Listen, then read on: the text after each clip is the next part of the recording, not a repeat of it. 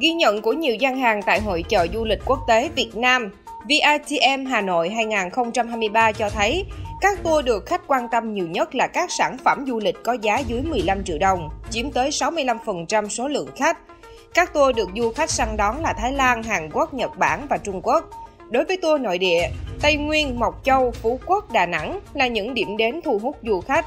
Tuy nhiên, theo một số doanh nghiệp lữ hành, việc giá vé máy bay tăng cao cũng làm ảnh hưởng nhiều tới quyết định đi du lịch của người dân trong thời điểm này. Theo ông Nguyễn Công Hoang, Tổng Giám đốc Flamingo Bread Tour, việc giá vé máy bay đắt đỏ khiến giá tour nội địa tăng cao. Sức hấp dẫn của sản phẩm kém đi sẽ ảnh hưởng đến tính cạnh tranh của điểm đến, không chỉ điểm đến trong nước mà cả hình ảnh du lịch Việt Nam so với các nước. Để xử lý vấn đề giá vé, nhiều doanh nghiệp du lịch đã chọn giải pháp đặt cọc sớm, ôm vé với số lượng lớn. Việc này cũng đối mặt rủi ro nếu thị trường khách không tốt lại phải bán tháo. Ngày 16 tháng 4, Công an huyện Đức Hòa, tỉnh Long An cho biết đang tạm giữ một người đàn ông để điều tra về hành vi đập phá đồ thờ cúng và châm lửa đốt chùa trên địa bàn. Sự việc được camera ghi lại vào lúc 12 giờ 40 phút ngày 14 tháng 4.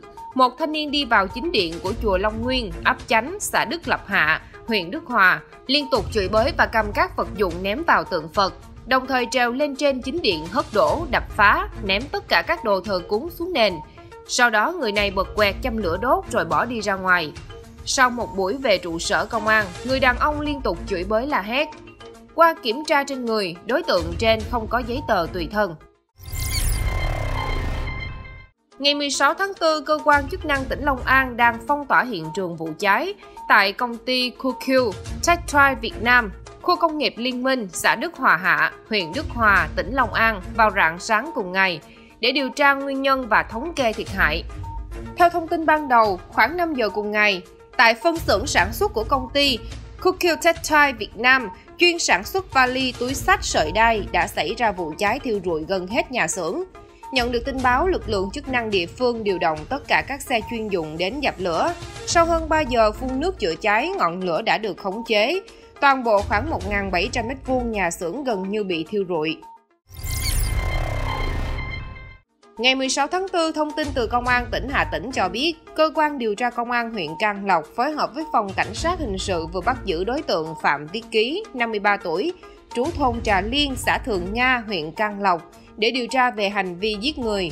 Trước đó rạng sáng ngày 16 tháng 4, Ký và T 35 tuổi, trú cùng thôn Trà Liên, sau khi uống rượu đã xảy ra mâu thuẫn với nhau. Trong lúc xô xát, Ký đã dùng dao đâm nhiều nhát vào người anh T, khiến nạn nhân tử vong. Ngay sau khi vụ việc xảy ra, Công an huyện Can Lộc đã phối hợp với Phòng Cảnh sát Hình sự, Phòng Kỹ thuật Hình sự, Công an tỉnh Hà Tĩnh khám nghiệm hiện trường, điều tra bắt giữ đối tượng Phạm Viết Ký. Ngày 16 tháng 4, ông Nguyễn Đức Thịnh, tránh văn phòng Ban Chỉ huy Phòng chống thiên tai và tìm kiếm cứu nạn tỉnh Tiền Giang cho biết, cơn mưa lớn đầu mùa kèm theo gió giật mạnh vào tối ngày 15 tháng 4 trên địa bàn đã làm tốc mái 67 căn nhà, trong đó có 8 căn ở huyện Cai Lậy và 59 căn ở thị xã Cai Lậy. Ngoài ra, gió giật mạnh còn làm ngã đổ 128 cây ăn trái và rụng khoảng 9 tấn trái sầu riêng gần đến ngày thu hoạch trên địa bàn. Ước thiệt hại ban đầu khoảng 2,6 tỷ đồng. Cùng ngày, Văn phòng Thường trực Ban Chỉ huy Phòng chống thiên tai và tìm kiếm cứu nạn tỉnh Gia Lai cho biết, đơn vị vừa báo cáo lên Ủy ban Nhân dân tỉnh về thiệt hại do mưa dông lốc xảy ra vào chiều ngày 15 tháng 4. Ước tính thiệt hại ban đầu hơn 3,3 tỷ đồng. Qua thống kê của các địa phương, tính đến 8 giờ hôm nay, có 118 căn nhà bị tốc mái, huyện Phú Thiện 97 căn, Công Chơ Ro 14 căn, thị xã Ayunpa 7 căn, hơn 590 hecta cây trồng bị thiệt hại nặng nề. Ngoài ra, một số khu vực trong tỉnh Gia Lai như huyện Đức Cơ, huyện Irai cũng chịu ảnh hưởng nặng nề do mưa dông, lốc. Trung tâm Dự báo Khí tượng Thủy văn Quốc gia thông tin, do ảnh hưởng của rãnh áp thấp xích đạo hoạt động yếu nên chiều và tối ngày 16 tháng 4, khu vực Tây Nguyên và Nam Bộ tiếp tục có mưa rào và dông rải rác. Cục bộ có mưa to với lượng mưa 10 đến 30 mm, có nơi trên 50 mm.